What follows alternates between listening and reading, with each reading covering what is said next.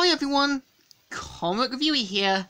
This time reviewing on Blackest Night Titans issue number 2.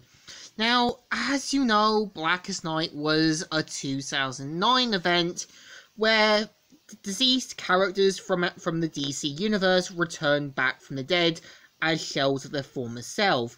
And the cover has Donna Troy holding the body holding her son who is meant to be a Black Lantern. It starts off how Donna looks at the crib and sees a rattle, and a voice saying, I tried to put him down for his nap, honey.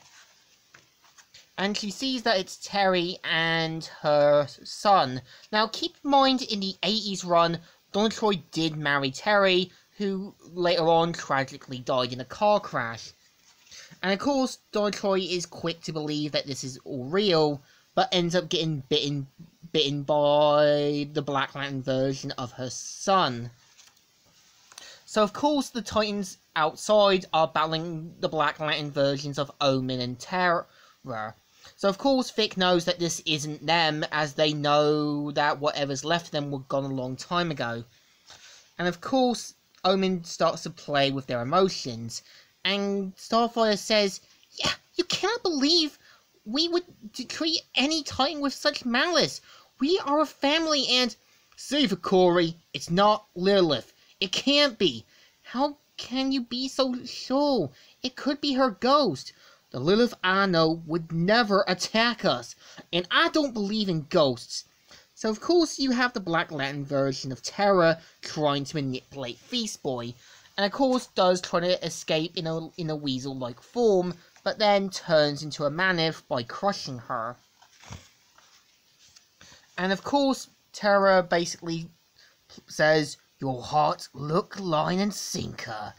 And just as she's about to go for him, Starfire blasts Terra, and even Starfire tries to reassure him that wasn't Terra, and he knows.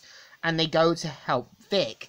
So we're introduced at Georgetown University, where where the Black Lantern version of Hawk has killed Dove's sister. So of course he starts to play with her emotions and tries to get a reaction from her.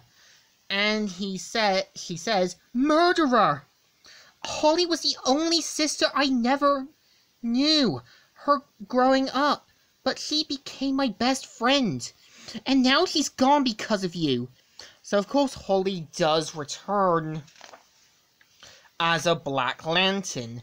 And, of course, the two Black Lantern Hawks take a liking to each other and go for Dove.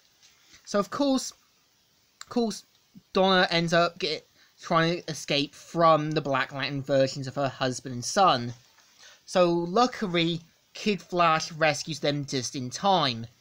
And even and even and even like Cassie knows that that those Black Lanterns Bart Allen was talking about was Donna's family.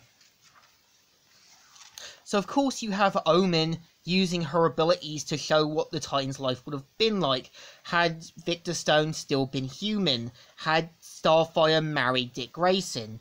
So of course the Black Lantern version of Terra comes together and starts shaking the building down, saying, I always hated this stupid building. So, of course, she makes the building go down into the ground.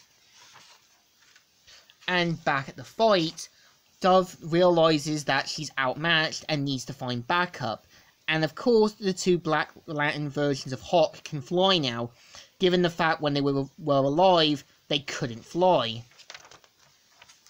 So we see how how like Kid Flash points out that he can't vibrate out of here and knows he, it will be too risky.